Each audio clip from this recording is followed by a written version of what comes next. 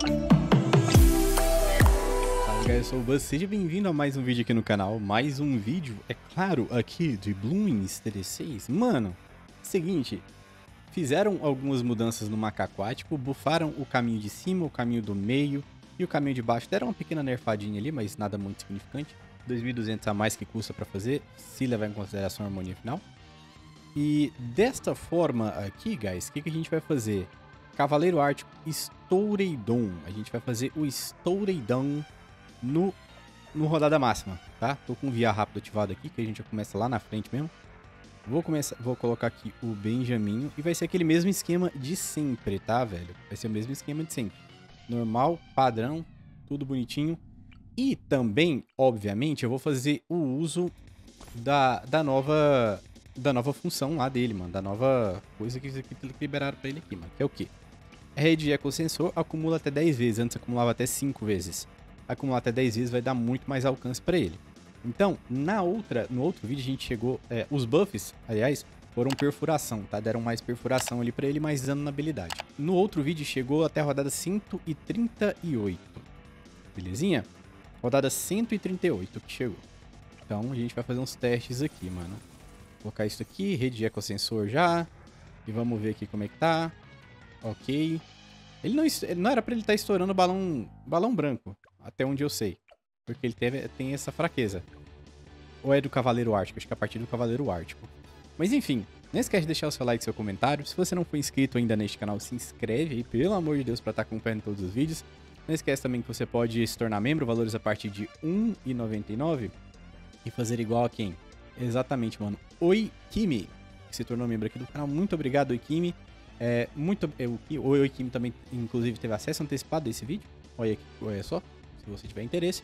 Não esquece, você, caso você for comprar alguma coisa dentro do jogo, lá na lojinha, gastando dinheiro de verdade, utiliza meu código porque ajuda pra caramba. É só no menu de configurações, vai lá, apoio o criador, ou dentro da própria loja você vai lá, vai ter um botão assim, apoio o criador, coloca Buzz Lightyear, o nome do canal mesmo, e clica depois em é, enviar, validar, alguma coisa assim. E aí você faz a comprinha e me ajuda pra caramba. Aqui eu vou ter que colocar... Isso aqui que estoura, né? Balão de chumbo. É. é balão de chumbo não, balão roxo. Roxinho. Vou ter que colocar isso daqui de qualquer forma. Então, vamos colocar uma velocidadezinha de ataque pra ele já. E aí já fica bala, não? Vou deixar no vezes 5 aqui. A gente tem um... Aqui, ó. O, o, que teve, o que teve mais buffs aqui, mano, foi essa questão do... Pô, devia estar tá farmando, talvez. Mas, mas enfim. Tá de boa. Vamos colocar aqui scanner radar. Eu quero colocar agência de inteligência símia, tá? Por conta dos balões roxos e tudo mais. Aí ele não, ele não vai estourar. Vou deixar até no vezes 10 aqui, mano. Aqui, de boa. Aí depois a gente pensa no Cavaleiro Ártico, tá? Você viu que, o, que os balãozinhos roxos, eles são chatos, mano. E daqui a pouco vai vir também... Beleza. Agência de inteligência símia. Agora a gente vai pro Cavaleiro Ártico, que teve aí a sua perfuração aumentada. Teve também o dano da habilidade aumentado, o que é muito interessante. Tô fazendo um, uns testes aí, mano. Se vocês puderem comentar, por gentileza, se o microfone tá, tá melhor, tá pior ou tá igual aos vídeos passados.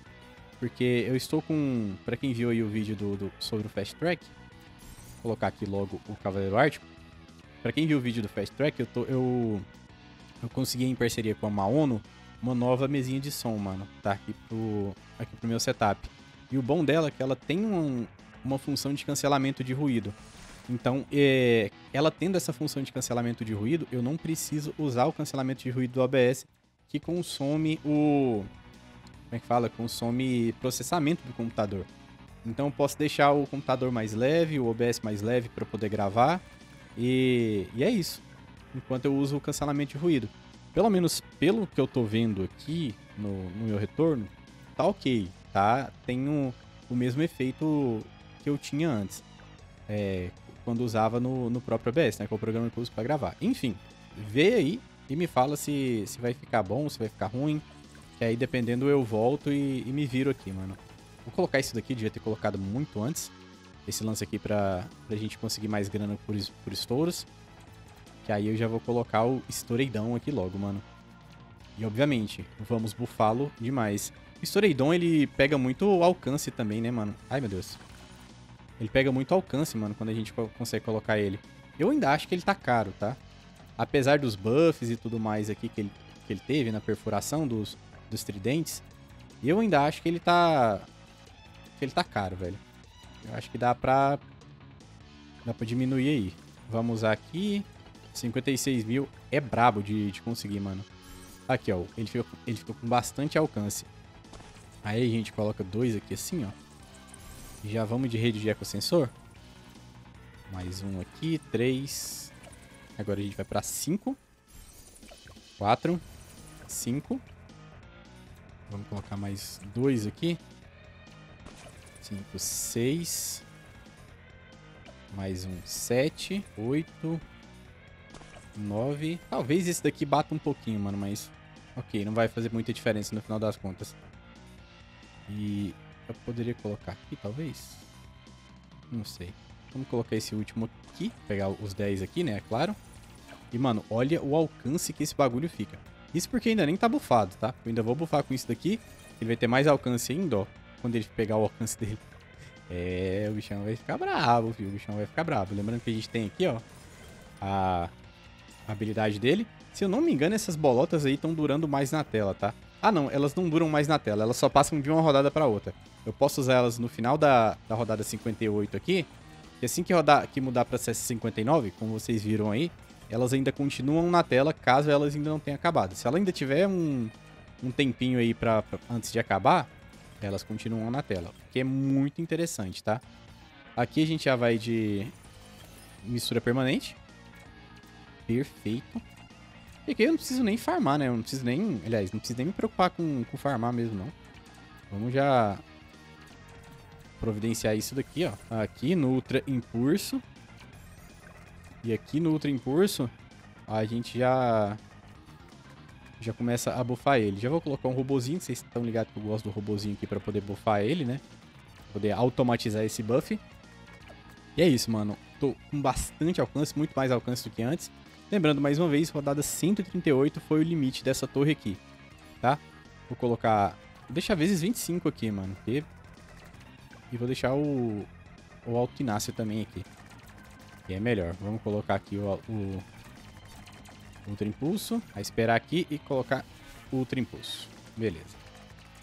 Ah tá, eu tenho que colocar o robozinho aqui também, né? Calma aí. Coloca o robozinho aqui pra ele. Aí ele vai ficar muito alcançudo, mano que não tem é, ligação nenhuma, né? Não, dá alcance. Ele, ele, vai atacar muito mais rápido.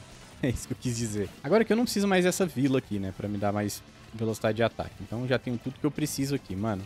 Foi exatamente assim que eu fiz do outro, no outro vídeo, tá? Um pouquinho chato, mano, esse de buff aqui, mas é o que a gente tem pra hoje. Rodada no 96.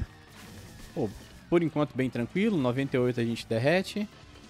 Olha isso, 99. E aqui a gente vai, assim que o Bad entrar no alcance dele, a gente usa a habilidade do, do gelinho, mano. Beleza. Ah, véio, a habilidade do gelinho eu achei que ia durar mais, tá? Confesso pra vocês. Parece que mudaram o, a aparência do tridente, ou tô maluco? Parece que o tridente tá mais claro que é um tridente. Antes eu não senti ele assim, mano. Deixa eu ver no meu, no meu vídeo, que inclusive tá aberto aqui, eu só estou maluco mesmo, mano. É exatamente a mesma forma, o, o projeto aqui. Mas não sei, mas pra mim, na, na, minha cabeça, parece que ele tá... Que ele tá mais, mais nítido, não sei. Parece que deram uma alterada. Realmente tá a mesma coisa, mano. Que doideira, eu não lembrava. Mas é isso, rodada 102.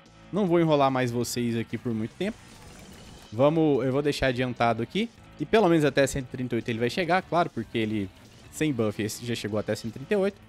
Com buff a gente vai ver direitinho. Aí quando chegar na 138, eu volto e mostro pra vocês aqui se vai passar ou não. Na 137 eu já volto. Guys, eu esqueci de mostrar aqui antes de começar a 138, mas tá aqui, a 138. Tava muito rápido e eu me perdi. Passou da 138, mano. Isso é o que importa. Já funcionou o buff aí pra ele. Principalmente, acho que pelo alcance extra dos 10, do, dos 10 aquáticos aqui, tá? Mas também o fato da habilidade... Eu acho que a habilidade só, dá mais, só deu mais dano pra ele no, no Tier 4. Pô, mas 140 não dá. Eu acabei de usar o, o bagulho, mano. Errei, foi moleque. Vamos usar isso daqui. Mas é principal, eu acho que é principalmente se dá pelo fato do alcance extra do, dos macaquáticos, tá? Mas, de qualquer forma, a perfuração também ajuda, principalmente nesses suas rodadas mais altas assim, né, mano? A gente usa aqui a habilidade e é isso, né? Rodada 140 a gente já sabe, é muito complicada, é, é muito, muito pesada, então aqui fica muito difícil. Eu ainda usei a habilidade meio errada ali, na hora errada, esqueci, da 140. A gente pode continuar aqui rapidinho, só pra fazer um testezinho, e usar a habilidade aqui, tá? Aí eu uso a habilidade aqui. Esperar ela voltar aqui pro ataque. Aí eu uso as duas habilidades aqui ao mesmo tempo, ó. ó o dano já aumenta consideravelmente, né? Vai, já tá bem machucado. Mano, tá estranho esse, essa fortificação machucada aqui, não tá não? Mudaram isso daqui? Eu sempre fui assim. Não lembro muito de ver bad fortificado, né? Diga-se de passagem. Ó, quanto mais velocidade de ataque, mais gelinhos ele joga na tela, né? E acabou passando um DDT ali. Mas, guys, é isso rodada, da rodada 138 chegou até a 140. Então passou da 138 e passou da 40 também. Da 139 também chegou na 140. Beleza? Então é isso que eu queria mostrar pra vocês. Deixem aí nos comentários o que vocês acharam dessa torre. Tá boa? Ficou boa? Vocês acharam que ficou boa? Vocês acharam que ficou ruim? Ou tá a mesma coisa? Comprovadamente tá melhor. Mas será que vale a pena, né? Porque isso aqui tá, tá cheio de buffs e tal, né, mano? No Chimps eu ainda acho que ela não vale a pena. É uma torrezinha muito, muito cara pra gente conseguir colocar. 56 mil? 56.160, pelo que ela oferece, definitivamente a gente tem opções melhores. A gente pode colocar outras coisas. Meu Deus do céu, bagulho aqui no meu fone. A gente pode colocar outras coisas que fica melhor, tipo Senhor do Abismo com alguma outra coisa. A gente consegue colocar Senhor do Abismo e Harmonia Final com o valor dela, né, mano? Praticamente. Já com essas duas aqui, impacta muito mais no jogo do que o Storeidon. Mas é isso. Deixe nos comentários se você gosta dela ou não. Like. Não esquece. Se inscreve se você não for inscrito. Muito obrigado por assistir até aqui. Valeu. Até amanhã.